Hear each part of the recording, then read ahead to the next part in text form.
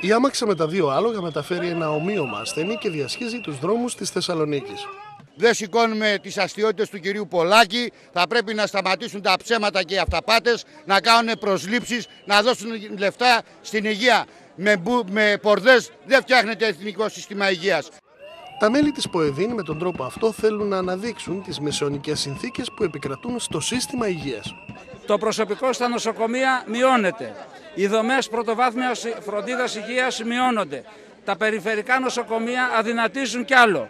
Η μόνη λύση είναι η συσπήρωση του κόσμου. Στα μπαλόνια που μετέφερε η άμαξα αναγράφονται συνθήματα κατά της πολιτικής που εφαρμόζει το αρμόδιο Υπουργείο.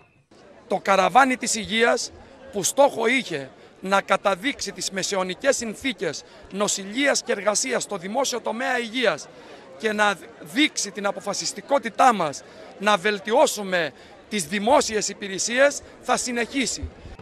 Τα μέλη της ΠΟΕΔΗΝ, περίπου 200 άτομα, πραγματοποίησαν πορεία 7 χιλιόμετρων στο κέντρο της πόλης. Άμεσες προσλήψεις, όπως είπαμε, παράταση του υπηκουρικού και πολλά σοβαρά προβλήματα. Η κατάσταση δεν πάει άλλο, κινδυνεύουν ανθρώπινες ζωές σε αυτούς που περιθάλπουμε στο, στα, στα ιδρύματά μας. Η πορεία κινήθηκε επί της Εγνατίας Οδού, η οποία παρέμεινε κλειστή ως τις 10 το πρωί, ενώ συνέχισε στην Αντιγόνιδον και κατέληξε στο Υπουργείο Μακεδονίας Τράκης.